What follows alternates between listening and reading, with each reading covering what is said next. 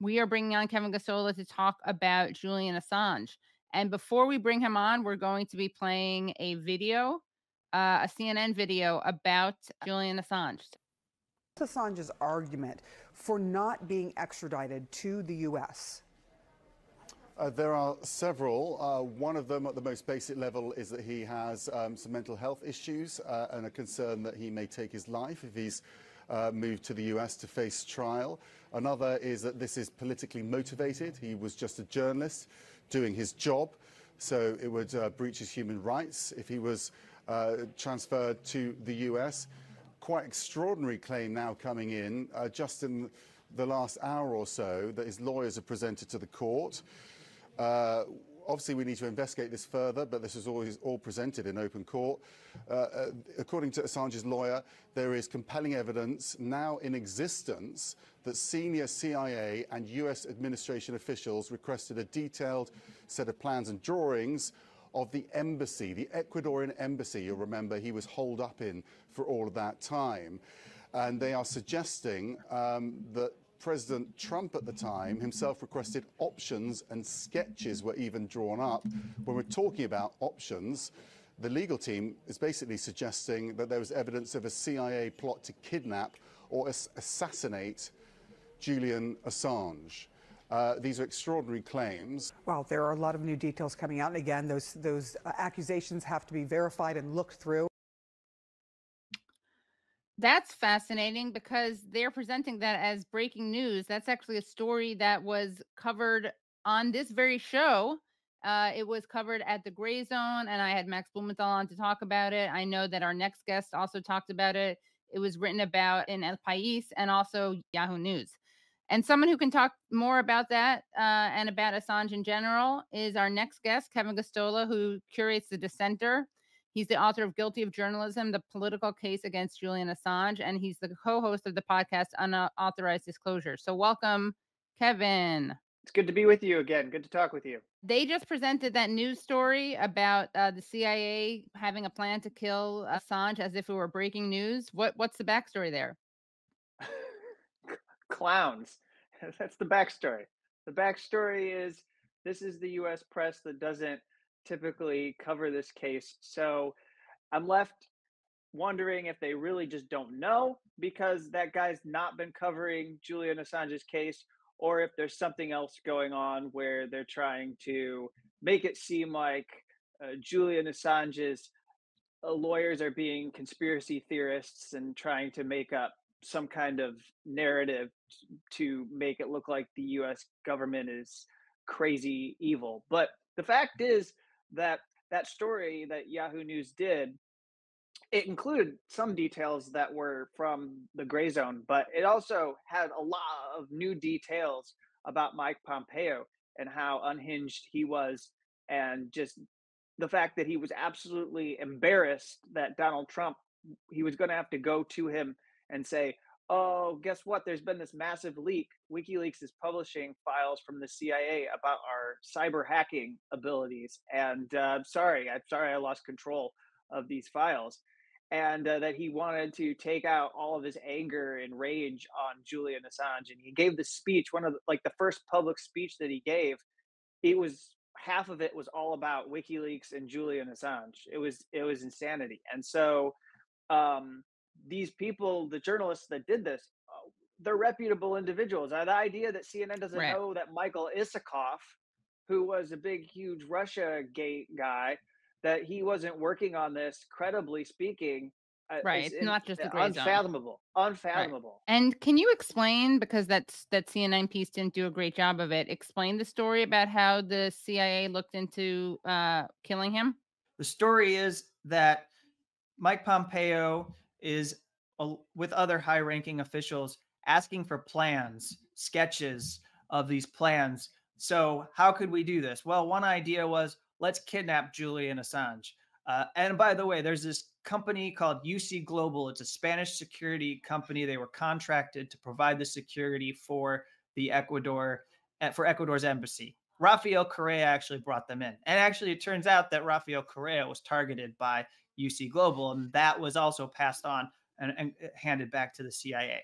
So he's in there and he's saying, what if we leave the door open? The idea in UC Global is like just leave the door open and then I guess some agents or even police can just come in, take Julian Assange and haul him out of the embassy. They say, oops, we're sorry, we left the door open. Uh, they talked about poisoning him potentially, which to me just harkens back to or evokes memories of the many there were numerous plots, crazy plots trying to kill Fidel Castro when he was. Um, also, that's how they uh, for Patrice Lumumba, who was the Congo um, president, that was that the idea was that he could get poison toothpaste. That was something the CIA developed. So I'm thinking maybe they would have done like poison toothpaste for Julian Assange or something like that. So then they could outright kill him. Um, and as they were seriously considering rendition for Julian Assange. The Justice Department was afraid. One thing that isn't exactly appreciated about this story about what the CIA was doing to Julian Assange is that the Justice Department freaked out, and that actually Pompeo knew what he was doing by saying that the CIA was going to get involved in this way. They were you know, you talk about this rules based order, which is a joke, but the Justice Department was saying, oh no, Julian Assange is going to arrive in the United States and we're not going to have an indictment against him. So we need to scramble and get something together. And they actually did. And then there's this drama around um, Christmas time when the Ecuador was going to give him a diplomatic passport and try to get him out of the embassy. And all this surveillance that was happening with CIA support they knew that he was going to leave. So they basically kind of intimidated the lawyers and and and got them to understand that if they tried this now, Julian Assange was going to be arrested because they had figured out through this surveillance that he was going to try to leave the embassy. And then from that point on, they were, there was an international arrest warrant, and he no longer could exit the embassy uh, because of that. So tell us where we are in this case against Julian Assange and his extradition case. The uh, way things are going today, I mean, the, the hearing was an opportunity for Julian Assange's lawyers to go into the high court and say that they would like to appeal the extradition. Uh, we're hoping that this high court will grant a full appeal he, sorry a full appeal hearing otherwise what that means is there is no route for Julian Assange in the UK legal system after today, and it almost virtually guarantees that he's going to be extradited to the United States. So they were putting on um, a lot of this like really important evidence, primarily all the things they were saying related to how they believe the district judge, her name was Vanessa Baraitser, didn't give this the attention it deserved. And when they when she was told things like this is a politically motivated case. Donald Trump uh, let Mike Pompeo and Jeff Sessions run amok and go and turn the Justice Department into this institution that would target people who were exercising their First Amendment rights. You know, she was just like, well, I don't see that. I think they've been following a process and it's been fair, and I'm not going to do anything to save Julian Assange. Although she did get to the part where she saw this glaring evidence about how U.S. prisons and jails treat people here in this country, and they then she ruled that it would be oppressive for mental health reasons to extradite Julian Assange, which gave us a kind of surreal moment where it looked like Julian Assange could win. But the U.S. quickly remedied that by printing these lies on paper about how they would take care of Julian Assange's well-being if he was brought to the United States. So they basically, she was basically saying the prison system in the United States is so abusive that someone with mental health issues can't survive. And they're like, don't worry, we promise we're going to be nice to him, even though yeah. their promises were ridiculous. Yeah. And he, uh, we heard evidence back in September 2020 about how he is diagnosed with autism or he's on the autism spectrum. And uh, these various issues that he has and after psychiatrists have you know gone through therapy sessions and all of the trauma that he's gone through being in arbitrary t- detention. Uh, just so people are familiar fully with the saga, we're talking about going all the way back to the end of 2010 that he's been in detention in some form or another, whether it was house arrest or being in the London embassy, that the Ecuador's London embassy. And then uh, in 2019, he's been for five years in this Belmarsh high security prison that is often referred to or sometimes referred to as Britain's Guantanamo. And he had a stroke. He had a stroke. And recently we learned from Rebecca Vincent at Reporters Without Borders, who has been able to visit him finally like three or four times, that he had excessive coughing around Christmas and uh, he coughed and coughed and broke a rib because he suffers from osteoporosis. Now, people, as I shared this information with them, were reacting appropriately. And they thought, that shouldn't happen to somebody who's 52 years old. But if you know health, physical health, someone who is not able to go out and get sunlight Right. and get Vitamin vitamin D. D, their bones are going to deteriorate like this. And that's what's happened because of the cruelty. He does not have recreation outside regularly in Belmarsh, and he did not have any ability to go outside when he was in the Ecuador embassy because, well, he was stuck inside. And if he left and went outdoors, the British police were going to snatch him up. Biden said last week uh, Putin is responsible for Navalny. So, by that logic, of course, Biden is responsible for his stroke, for his osteoporosis, for his broken rib, for his torture, because the special rapporteur on torture has declared after examining Julian Assange, and this is a guy who was resistant to look into Julian Assange's case. He thought Julian Assange was a despicable character. Um, he finally looked into it and decided, and he was not prejudiced towards Assange, he was prejudiced against him, and, but he just looked at the facts and he's a special rapporteur on torture, Nils Melzer, and he determined he was tortured. Yep. So, That's what true. can people do? I mean, there's not a lot of time left. So, what can people do? what can be done is forcing a political solution. Uh, we first have to understand, and I think most of your viewers won't have a tough time because they're in tune with this issue a lot better than most viewers and Americans and others throughout the world. The legal system is not going to spare Julian Assange. So we don't wait for anything to happen. Yes, I can tell you, I could sit here and tell you all about how the European Court of Human Rights could hear Julian Assange's appeal if he doesn't get to have an appeal in the High Court of Justice.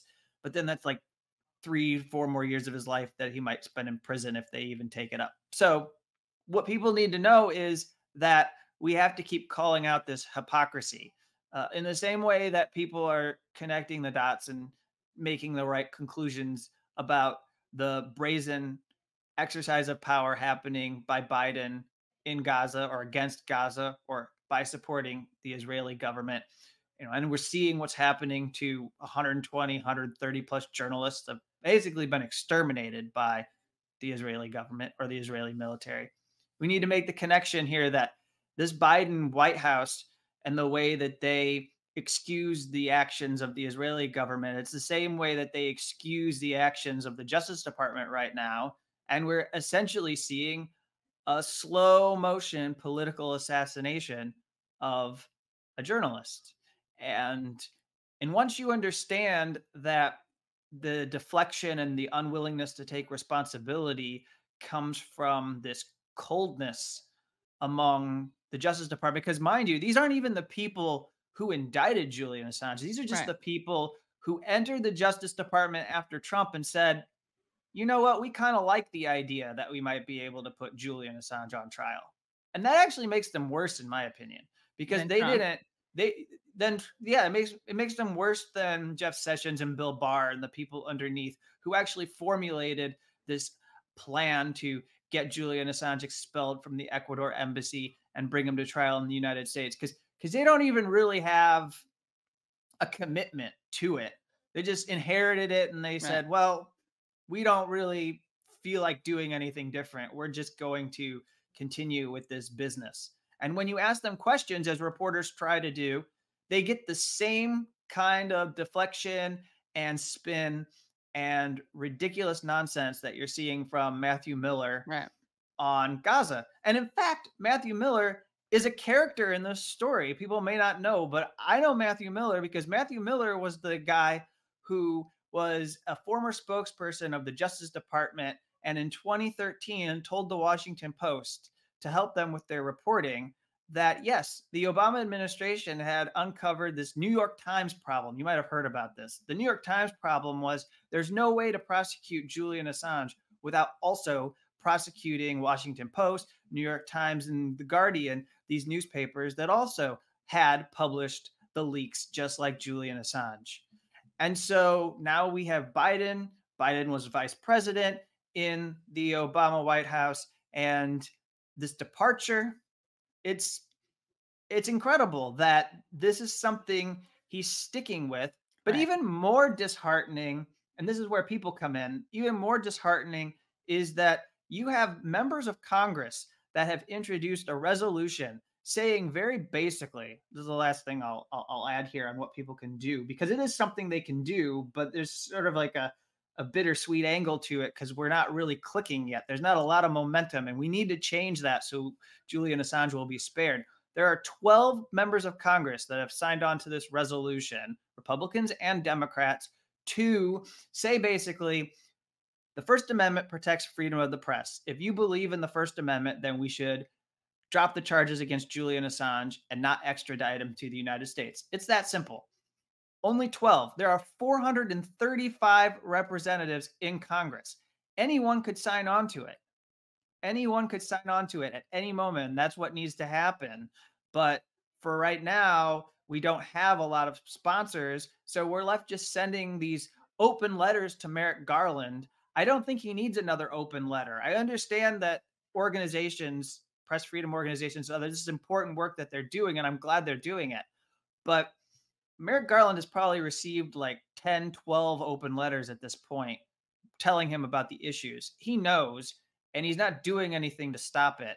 And uh, you know, we need to we need to move to Congress actually challenging the White House and this administration. Call them in for a hearing. Have somebody organize a hearing and do a review of how this has all been handled. What was the CIA and Justice Department doing?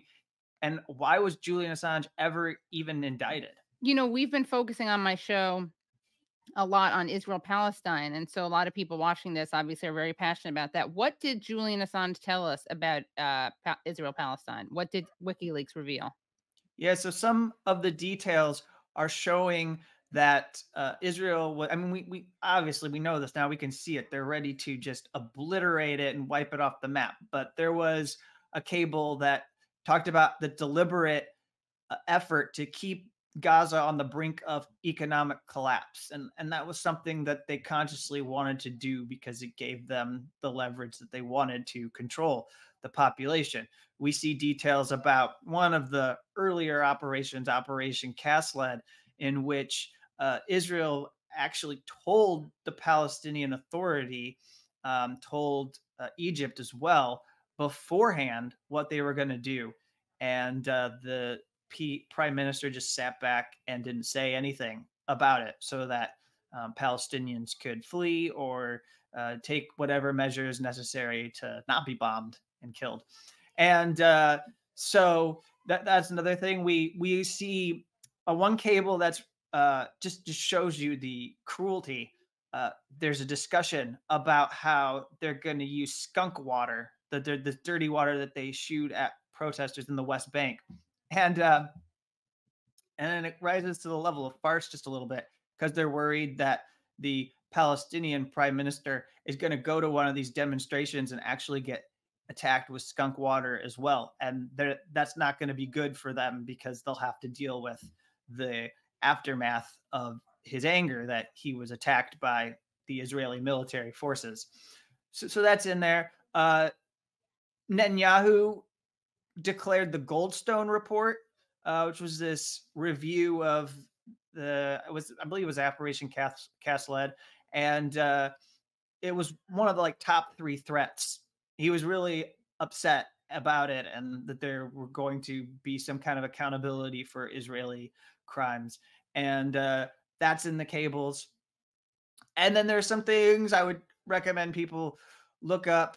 I'll just I know he's been on this show. I'll direct you to it because it's a good little handy thing. Um, Asa Winstanley uh, did a thing, uh, insights on Palestine from the cables, and that's good. There's some good highlights, and uh, later he went back and grabbed some additional tidbits of of some of the people who the cables exposed as being spooks who were working for the Israeli government or you know they have these nonprofit looking centers but really they're working for the Mossad or something like that. And when is this decision going to come down?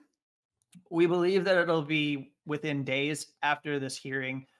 Uh, it, it would be fairly immediate because this isn't really a full appeal hearing. This is just the court trying to determine if they're going to even give Julian Assange an appeal hearing. And I would leave everyone with the thought that, yes, like when I read through the materials, it's not a debate that should be had. It's pretty clear. All the work that's been done by Julian Assange's attorneys show that no matter what side you're on, they show that, like, clearly you should give him a hearing and let all of these issues be aired out in the open. We not go through it slapdash and very quickly the way that we have today because we went through quite a bit. It's a rather overwhelming. And obviously, we don't have time on your show tonight, but even to just mention all the issues and to follow it like journalists have tried to follow it today in London, it's a bit overwhelming because it's just this is a saga that has gone on for almost 15 years.